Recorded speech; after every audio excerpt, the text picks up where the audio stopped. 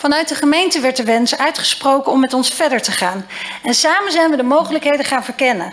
Met externe experts, ambtenaren met kennis en kunde zijn we ruim een jaar bezig geweest om een plan te maken dat zowel voor de stad als voor ons acceptabel was. En dat is gelukt. Tijdens het beeldvormend beraad van dinsdag 6 februari werden de drie scenario's voor het Stadstheater behandeld.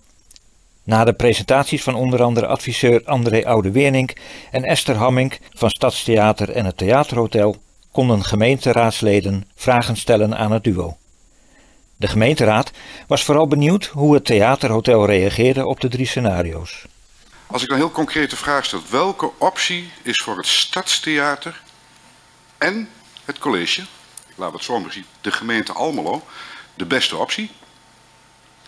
En als, en als, dat, als u daar een van aan kunt wijzen, welke aanpassingen of correcties moeten er nog gedaan worden om een goed besluit te kunnen nemen?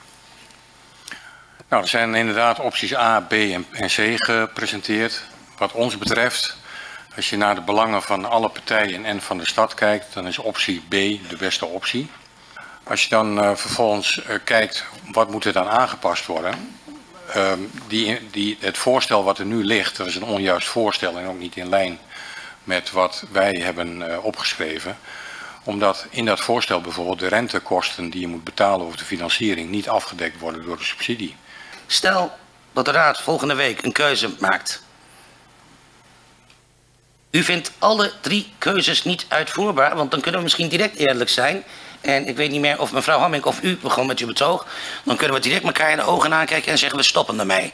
Want als we nu niet precies weten. Nee, ik Robert de Velder als u antwoord geeft. Als we precies weten wat u niet accepteert.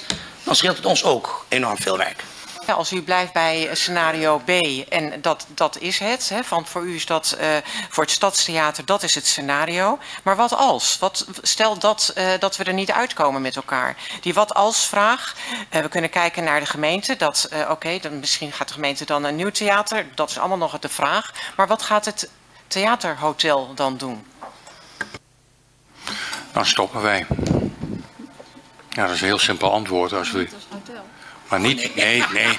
Stadstheater stopt. Het hotel, dat heb ik net uitgelegd. Dat is een belangrijk investeringsprogramma.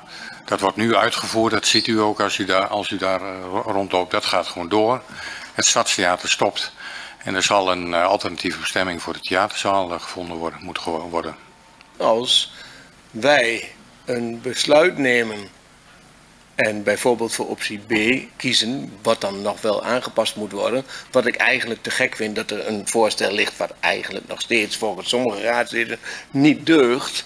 En, maar als dat voorstel gedaan wordt en wordt besloten door de raad, optie B met de noodzakelijke aanpassingen, kunnen jullie dan zo snel mogelijk overgaan tot programmeren? Ja, er is alleen één ding waar we natuurlijk wel rekening mee moeten houden. Uh, een verbouwing is ook niet morgen gedaan. Dus maar uh, ja, zo gauw ik dit weet, kan ik meteen aan de slag.